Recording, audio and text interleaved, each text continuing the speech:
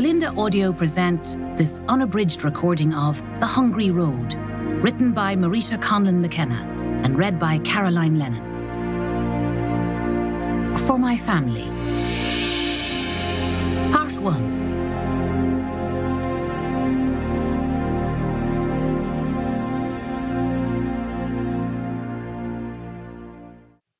Chapter 1 Skibbereen, County Cork, Ireland. June 1843. From every field and farm, lane and street, village and townland in West Cork, the people came. Some in groups, some alone. They walked in heavy boots or barefoot to witness their great hero, Daniel O'Connell, speak at the Monster Repeal meeting in Skibbereen. Mary Sullivan was among them, for she was determined to see the great liberator, who had done so much for Ireland and her people. She had been anxious about leaving her children, but her kind neighbour Bridget had offered to mind them. Band music filled the stilly June air as she, her husband John, his brother Pat, and Uncle Flor neared the market town. The crowded streets of Skibbereen were bedecked with welcome flags and brightly coloured bunting, and every store, stall, and merchant was busy. Mary laughed, caught up in the heady excitement and gaiety of it all.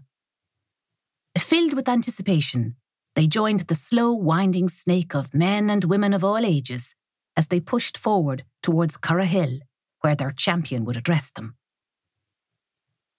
Since sunrise, Father John Fitzpatrick had been watching the crowds arriving in Skibbereen. The people were like pilgrims travelling from afar, arriving in carts and coaches. Some were staying in the town's hotels and boarding houses, and many had walked miles to get there. The numbers were huge, thousands and thousands, far greater than he and his fellow priests had hoped for when they sent out word to the people of Carbery that all were welcome to attend a meeting where the great Daniel O'Connell would speak of repealing the hated Act of Union, which had merged the parliaments of Great Britain and Ireland. He gave a silent prayer to the Lord to grant them a fine, dry day for their endeavours. After he returned home from saying Mass, Father Fitzpatrick checked that his housekeeper Bridie had the spare room ready. He had informed her that a guest would be staying with him in the parish house that evening the brass bed was made up with their finest linen. The wardrobe and chest of drawers were freshly polished with beeswax. The glass in the window was sparkling. I suppose they are going to the big meeting too? Bridie asked the priest as he came downstairs. Will the two of you be eating here afterwards? No, Bridie, don't trouble yourself. We're attending the repeal banquet in the Temperance Hall tonight but I'm sure my guest would enjoy a good breakfast with some of your soda bread tomorrow morning before he sets off on his travels. Father, I've never seen such a palaver in the town. But don't worry, I'll be up early to cook a few fresh eggs for the good father, too. He laughed at her assumption that it was a man of the cloth who was coming to stay. He felt disingenuous, keeping the identity of his guest from her. But Bridie couldn't be trusted not to brag and boast around the town.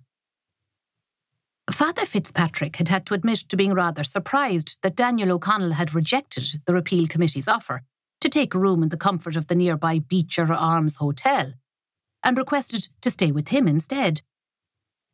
Perhaps the great man preferred the privacy and quiet of a simple priest's home to more luxurious surroundings where he would be approached constantly by admirers. He would do his utmost to ensure Daniel O'Connell found rest and peace here in the parish house if that was what he desired. Satisfied that everything was in order, Father Fitzpatrick left to join the large welcome procession of parishioners, carpenters, shoemakers, weavers, other tradesmen, and musical bands getting ready to escort O'Connell and his carriage to the packed meeting place. Dr. Daniel Donovan was finishing his rounds of the Skibbereen Union Workhouse when the young midwife came running after him. The matron ordered me to fetch you, she called, out of breath. With the O'Connells' visit to the town later that day, Dan was pressed for time, but he knew well that the matron would not request he attend unless she was in need of medical assistance. The young mother to be in need of attention looked no more than 18 years old. A pretty girl with thick dark hair that clung to her head with sweat. I am fearful for her and the child, the middle aged matron confided. I am here to help you, he tried to reassure the girl. Her brown eyes were filled with fear, and she was too exhausted to take notice of him, let alone deliver a child. As he examined her, it became clear that the baby was breech. Instead of presenting head down, one of the unborn child's tiny feet was beginning to appear first. Difficult and risky in any case, breech deliveries often resulted in the loss of mother and child. Dan thought back to his medical school days in Edinburgh, when his professor would lecture him and his fellow students on such cases he would drive home the vital importance of judicious and decisive assistance with such problematic births to try to ensure both lives were saved. O'Connell would have to wait, for the mother was near collapse and he needed to deliver the baby immediately. Dan ordered the two women to help him hold the mother as he attempted to extract the baby as swiftly as he could. I know you are tired. Her name is Maggie Hayes interjected the matron. Maggie, let me help your baby. A foot, a leg, a thigh, the buttocks. Somehow he managed to hold the child's lower limbs steady and guide them as they emerged. Then, holding its body firmly, he quickly proceeded to ease the baby's neck and small head downwards, trying to ensure he did not damage the neck or spine. The infant was blue and still. Dan untangled and cut the cord quickly, willing the boy to take his first breath. The silence was ominous as he caught the little fellow and held him up, clearing the mucus and blood from his face. Suddenly, the baby stirred and moved his hands before giving a low, faint cry. Dan held and rubbed the child, relieved as the infant began to give a stronger cry his lungs filling with air and his colour improving. You have a fine son, he told Maggie, placing the baby into her waiting arms, but you must rest a while. He nodded to the matron who was tending to her before glancing at his fob watch and realising how late he was. Maggie smiled weakly. I am naming him William, after my late father, and Daniel for the Liberator, who is in town this very day. His birthday, she said proudly, kissing the baby's head. A day all of us will remember, Dan acknowledged as he took his leave. I'm sorry for delaying you, apologised the matron as she escorted him to the door, but thank you for your assistance. You did the right thing, he assured her, for both the mother and baby are healthy. There is no mention of a father, Matron sighed. The girl will have to stay here and nurse and mind the child. At least they are both in your good care, Matron, Dan said, as he climbed up into his horse and trap and set off for home with great haste. Henrietta Donovan was growing anxious, for her husband had promised to return for the meeting in plenty of time. Seeing such crowds, she fretted that they wouldn't get there soon enough. What could possibly be delaying Dan on such an important day? Suddenly, she heard his rapid footsteps on the stair. Where were you? she scolded lightly. I was getting worried that. Hush, he soothed. I'm here now. Just let me change my shirt and jacket. I was delayed in the union, assisting a difficult birth. Fortunately, both mother and child are well. Thank the Lord for that. She knew there was no point in rebuking Dan, for his patients would always come first. Her husband, the physician for the recently opened Skibbereen Union Workhouse and the town's dispensary, was possessed of a kind nature and an utter dedication to the care of the sick. As they set off in the horse and trap, Dan took his wife's hand. You look pretty, my dear, in that new lace dress, he offered.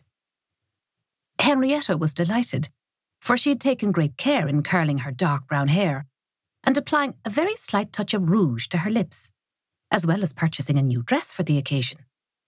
She was gladdened by his compliment, as Dan never usually noticed fashion.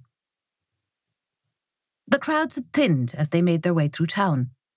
Skibbereen's bars and taverns were all closed, for O'Connell was an outspoken advocate for the temperance movement and did not want his monster meetings marred by the raucous behaviour of a few drunks. Before long, Dan and Henrietta joined the line of horse drawn vehicles pulled up at the enormous meeting place. Henrietta's heart pounded with the reverberation of the drums as she and Dan were escorted to a position near the large podium. All around them were townspeople and tradesmen, tenants and labourers, united in the hope that O'Connell would help restore an Irish Parliament to Dublin that would govern the Irish people fairly. Did we ever think that we would see this day? Laughed Daniel McCarthy, the wealthy brewer, unable to disguise the pride and emotion in his voice. The most famous man alive, and thanks to our own good efforts, here he is in Skibbereen. We knew the people would come. Dan gazed around him at the huge crowds. For O'Connell speaks of what is in every man's heart. And woman's, Henrietta reminded her husband, squeezing his arm. There was a flurry of movement as carriages and a procession of people bearing tall, billowing banners began to approach the enormous gathering. As the band struck up loudly in the distance, she was overcome with a frisson of excitement. Chapter 2 Gazing out across the flowing River Illen, Mary Sullivan was overwhelmed by the sight of tens of thousands of people gathered together on Currahill. The sea of O'Connell's supporters shimmered in a haze before her. Keep a hold of my hand, urged John as he propelled her forward. A regiment of soldiers stood to the side at the ready, observant and unflinching, as the couple manoeuvred their way through the waves of bodies towards the large wooden podium positioned at one end of the field. A massive roar of welcome broke from the near 70,000 strong crowd as three marching bands, followed by four stagecoaches bearing Daniel O'Connell and his entourage, arrived in the grounds. As the bands played a loud, triumphant march, a procession of priests, parishioners, and local tradesmen led the coaches up the field to cheers and applause. There was such a din that Mary worried how the drivers would control the horses. The coaches finally came to a stop, and the tall, heavy set figure of Daniel O'Connell, in his black cape, stepped out and up onto the podium. He was an imposing figure, with a broad face and a head of dark curls. His eyes roved appreciatively over the huge crowd. A hush fell as a man with pride in his voice welcomed the Liberator to Skibbereen, citing O'Connell's achievement in securing Catholic emancipation and his fight now to repeal the despised Act of Union. The crowd began to cheer wildly as O'Connell threw off his cape with a confident swagger. In grand style, he stepped forward and flung open his arms, greeting his supporters warmly in a clear, booming voice. There was a roar of approval as he began to speak in Gaelic, and laughter at the bewilderment of the large force of British military and constabulary that had surrounded the field. The redcoats were left scratching their heads, wondering what he was saying. I am honoured to be your representative in Parliament, O'Connell continued, his eyes shining, even though it is a parliament packed against me. The cheers echoed through the still summer's day as he spoke of the achievement of Catholic emancipation, which had finally given Catholics the right to hold important offices and serve as members of the British Parliament. O'Connell's voice filled with emotion as he looked down at the crowd. I may have been at the head of the battle, but victory could not have been won without you, the people, behind me. A profound silence fell as he outlined his new repeal campaign to regain Irish freedom and self government with the return of an Irish Parliament to Dublin. It is the right of every Irish man over 20 years of age to have a house and to vote. O'Connell's voice carried loud and clear across the field, filling the spectators' parched hearts with the hope of change. They latched on to his words, all tiredness and soreness in their feet and legs forgotten. The prospect of freedom hung in the air, blowing tantalizingly among them, along with the cherished hope of regaining the right to own the roof over their head and the land on which they raised their crops. Many were ready to rally to his call and take up arms to fight if need be. However, O'Connell soon made his opposition to violence clear. This battle will be fought in Parliament. Peacefully. We hope you enjoyed this preview. To continue listening to this audiobook on Google Play Books, use the link in the video description.